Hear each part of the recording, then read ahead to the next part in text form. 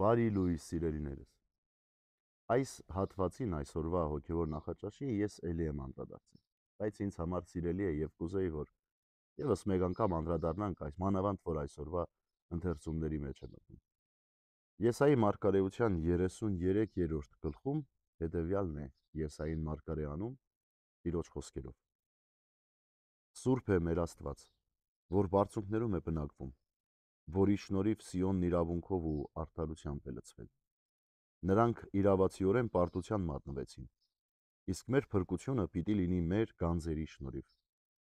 Մեզ հասան Տիրոջ իմաստությունը, հանճարը եւ Աստվածպաշտությունը։ Ահա դրանք են արդարության գանձերը։ Եսայի մարգարեն ասում է. մեր փրկությունը մեր գանձերի միջոցով է եւ շարունակում է։ Մեր գանձերն են Տիրոջ իմաստությունը, հանճարը եւ Աստվածպաշտությունը։ Ահա այն երեք պայմանները, որ մեզ պետք են Տիրոջ փրկությանը արժանանալու համար։ Իմաստություն, տեսնելու եւ ճանաչելու ճշմարտությունը։ Սա առաջինն է։ Դրա համար մենք ամեն անգամ խնդրում ենք Տիրոջը, որ իմաստությամբ լցնի մեր միտքը։ Հիմար մարդը չի կարող ունենալ փրկություն, չի կարող տեսնել ճշմարտությունը, կուրորեն կապրի եւ կշարունակի հավատալ, որ ինքը ճշմարտության մեջ է։ Հանճարը դա ընդունակությունն է, որ գալիս է Տիրոջ շնորհի միջոցով։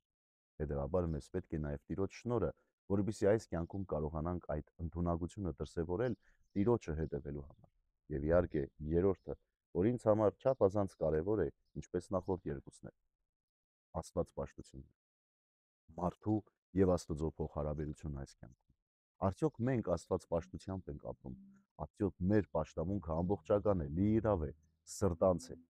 Ահա ուրեմն սիրելիներ այսօրվա հոգևոր նախաճաշի մեջ այս երեք կետերին խնդրում եմ անդրադառնալ։ Խնդրեք Տիրոջ իմաստությունը, խնդրեք նրա հանճարը կամ նրա շնորհները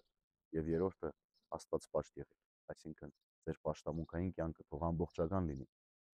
որբիսի ձեր փրկությունն է լինի ձեր գանձերի միջոցով, որովհետև Եսային ասում է.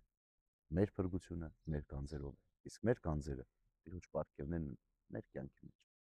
Բարի եւ խաղաղոր ձեզ բոլորի սիրելիներ։ Աստված օրհնի ամենքից։